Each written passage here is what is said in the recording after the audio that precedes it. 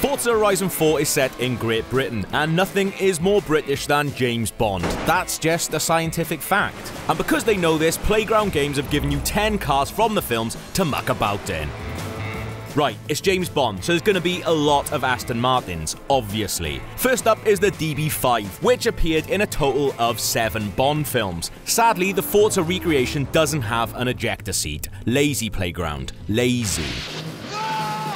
This car hardly features in On Her Majesty's Secret Service, but is pretty prominent right at the end of the film when James uses it to drive his wife away after their wedding. Unfortunately, she gets shot. Cheers for putting this one in Playground. Oh. Poor old Tracy. Tracy, Tracy you. Now we're talking. Awesome for hooning about the streets of Bangkok. In Forza, you'll have to make do with Derwent, but you can still pull off sick jumps like this one. Although you will have to add your own penny whistle sound effect. This is genuinely in the actual film. Roger Moore stayed away from the Aston Martins and all that, preferring more sophisticated cars like the Lotus Esprit S1, which could transform into a submarine. Don't get that with an Aston. Unfortunately, in Forza, you just slosh around in big puddles, not actually go underwater. Stop getting Bond wrong! Bond's all about fast, sexy cars, and apparently they don't come faster or sexier than the Citroen 2CV6. Look at her go. Roger Moore really doubled down on the whole I'm too good for an Aston Martin thing, didn't he? Moore's gone, Dalton's in. The best Bond, some might say. And we're back with an Aston Martin V8, which in the living daylights proved is probably the best car ever for winter conditions and smashing up sheds.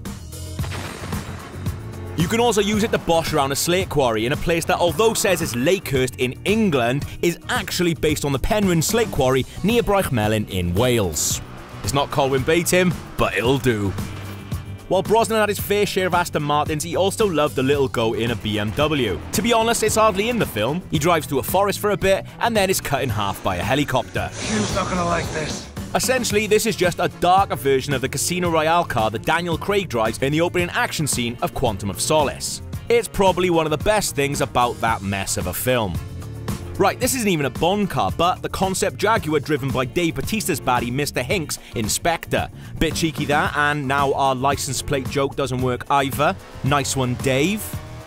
Don't worry though, they redeem themselves here by putting in the Aston Martin DB10, the prototype intended for 009, which Bond nicks and then crashes into a river. Classic Bond. Those are all the 10 Bond cars in Forza Horizon 4. If you want to know more about the game, watch our evolution of the Forza series and our comparison of Britain in real life and in the game.